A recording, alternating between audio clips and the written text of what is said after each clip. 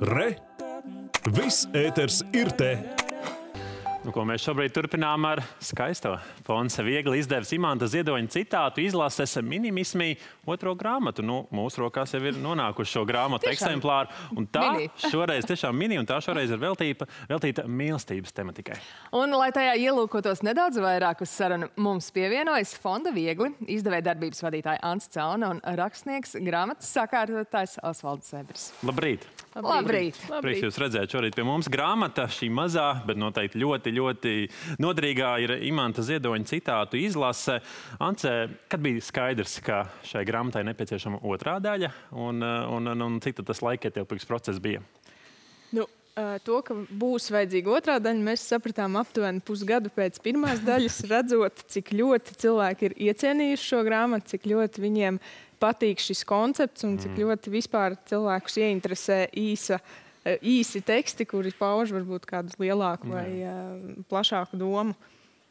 Laikietilpības ziņā šis process prasīja apmēram kādu gadu, uh, kamēr mēs visi kolēģi pamazām atlasījām uh, pietiekami daudz citātus, kurus pēc tam attiecīgi nodot uh, Osvaldam Zebrim, lai viņš to sakārto, ko mēs esam salcījuši. Osvalds, kārto kārtošanu. Cik liels darbs? Kārtot ir ļoti brīnišķīgi. Patiešām. Jo pašam rakstīt, tā kā man ir neliela pieredze rakstīšanā, bet pirmā pieredze kārtošanā pie šīs grāmatas, paldies fondam par uzticēšanos, tad es varu tā salīdzināt un teikt, ka tas. eh, Nu, neteiksim, ka ir vieglāk, bet tas ir tā patīkamāk. Kārtot kaut ko um, jau uzrakstītu. Šajā gadījumā, protams, tas tekstu korpus, kas ir aiz šīs mazās grāmatiņas, ir milzīgi liels.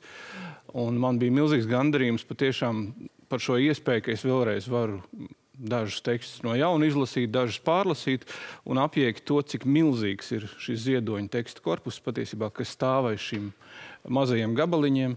Uh, un faktiski tāda arī lielā mērā ir šīs mazās grāmatiņas. Uh, Manuprāt, tāds ir šis viens no mērķiem, ka um, nu, mēs atgādinām par ziedoņa tekstiem. Ziedonis tā turpinās. Es domāju, tas viņam pašam būtu bijis ļoti svarīgi. Kā jūs teiktu, kādas ir Imanta Ziedoņa mīlestības? Nu, ņemot vērā, ka šajā mazajā grāmatiņā es esmu ietilpinājis veselas piecas nodaļas, jau no tā vien ir skaidrs, ka ļoti dažādas. Patiešām eh, šie minimismi ir mazi teksta gabaliņi no dzējoļiem, protams, no epifānijām, no pasakām, un tās mīlestības ir ļoti daudzveidīgas. Daudz, da, daudz dabīgas. teiksim tā. Ziedonim bija tūs ceļa motīvs, un grāmata tiešām veidot šādā mazā mini izmērā, lai tiešām to varētu tā klātesoši paņemt jebkurā uh, dzīves situācijā. Papildināta grāmata ar Evelīnas Aurēlijas Ozols ilustrācijām. Mēs jau sākām šķirstīt. Eh, Nu, noteikti mēs labprāt eh, aicinātu jūs kādu savu spilgtāko citātu šobrīd uh, nolasīt. Skatītāji, Mīļāko citātu. Arī mēs atradām jau ar Lindu. Jā. Mēs paspējām atrast. Mēs pēc tam, bet tad sāksim ar jums. Nu, mēs parasti ar šiem minimismiem, gan iepriekšējiem, gan šiem darām tā, līdzīgi kā jūs izdarījāt, atverot un Jā, uzreiz jā. atradāt savu mīļāko citātu. Tad mēs darām līdzīgi, mēs atveram, nu, ko tad šodien mēs atvērsim. Un tas būs pilnīgi nejauši. Es nezinu, kas tur būs. Pamēģināsim. O, mēs satiksimies, iekšup vīdamies. Uh, Man ir savādāk, es nevēršu uz dullo, bet uh, man ir viens minimisms, kas man kaut kā prātā grozās, neskapēc, un viņš skan šādi. Um, ir liktenis, liktenis, būs un spridzinās. Mums pašu vidū jāizlīdzinās. Tas tāds visai aktuāls šodienai, es domāju. Jā, nu es tā ar piekto reizi netīšām šķirstot uzšķīru un tieši atradu, manuprāt, fantastisku citātu.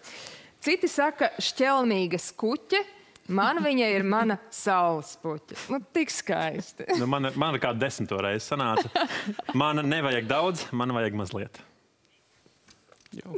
Nu, redz, kā mēs katrs esam atraduši. Būs trešie minimismi. To mēs redzēsim pēc atkal pāris Pēc gadiem. pusgada, kad būs jau izgājuši. Asfalt ir būtu gatavs uzņemties. Nu, šeit uh, ar šo grāmatu sēriju, ja tā var teikt, ir tāda tradīcija, ka katrai no divām ir atšķirīgs sakārtotājs. Tā kā iespējams būs kāds cits, kas ķersies pie